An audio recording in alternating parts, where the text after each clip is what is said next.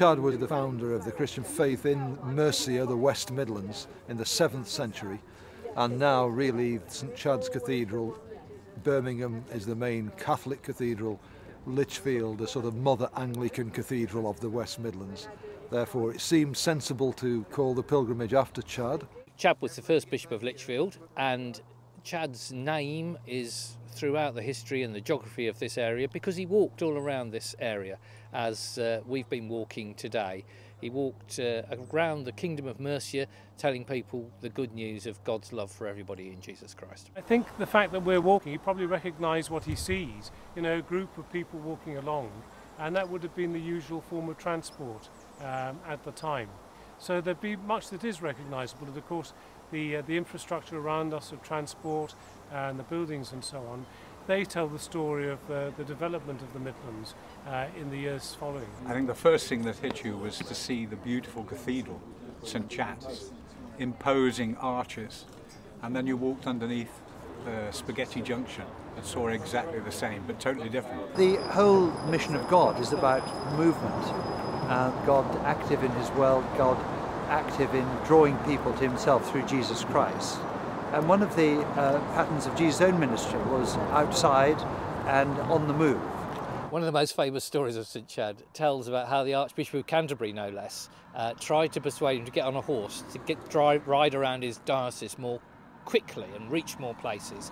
And Chad refused. He insisted on walking um, because he said, in walking, I can meet more people and understand the place I'm in better and that's still people's experience today. I think pilgrimage is a very contemporary experience because walking from place to place gives you a sense of where you are. Pilgrimage is a growing phenomenon of the 21st century, and people are walking old and new pilgrimage routes all over the place in this country and in continental Europe.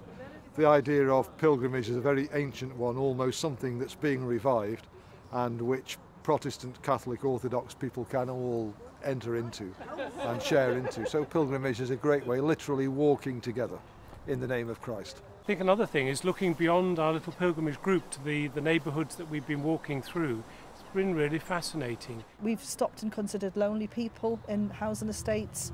Um, we've obviously been by schools, so we've, we've been prayer walking basically the area.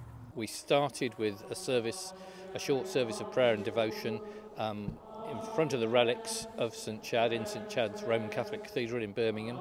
We will end in the Church of England Cathedral of St Chad in Lichfield. And actually, walking with us on the way has been a Catholic priest carrying a small um, bag with the relics of St Chad. So we really not only have been walking in the footsteps of St Chad, but accompanied by St Chad, and that feels great. It's been a really nice balance between walking by the side of canals, in forests, and uh, a little bit on the roadside, but not a lot. Well, it's going well. I mean, sadly, I've lost an archbishop and two bishops en route, but apart from that, we've been doing reasonably well. I think everyone's arrived or arriving here at Little Aston, which is a good 11 miles we've done of the 18 so far. People seem in good spirits. The ability to stop off at various points at the various churches that have agreed to host us with cups of tea and the, the bathroom facilities as well, it's been really That's welcomed. Very, very welcomed. The weather's been generally okay and is brightening up as we speak. So all in all, great. It's been a pleasant walk. I didn't know there was so much green through Birmingham. The reason for calling it St Chad Pilgrimage is that nearly through nearly all his life he was what we today call Celtic, what in reality was Orthodox Eastern Christian. Chad was um, ordained, uh, recognised by Rome eventually, and so when he came, that he was a kind of uniting um, influence on the uh, on the Christian Church in what was then West Mercia.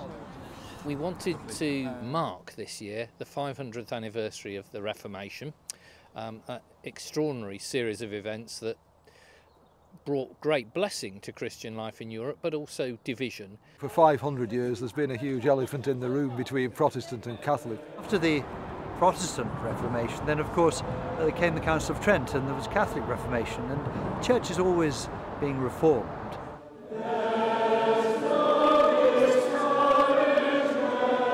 Thankfully, 500 years on, we're in a different place and there's now a whole lot of respect, friendship, and inter, inter sharing. Pilgrimage is, if you like, a kind of physical expression of the Christian journey.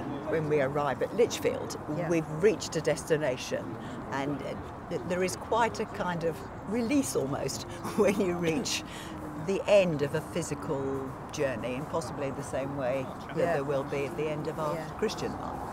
I've really enjoyed being part of it. I've enjoyed meeting lots of different people that I'd never met before and having good conversations along the way.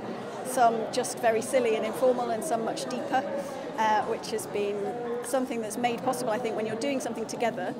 Uh, you talk to each other in a way that if you're just sat round, it's quite hard to get find a way in. Uh, whereas because of the walking and the movement and the motion, it creates a space to have good conversation, and that's been really special to me.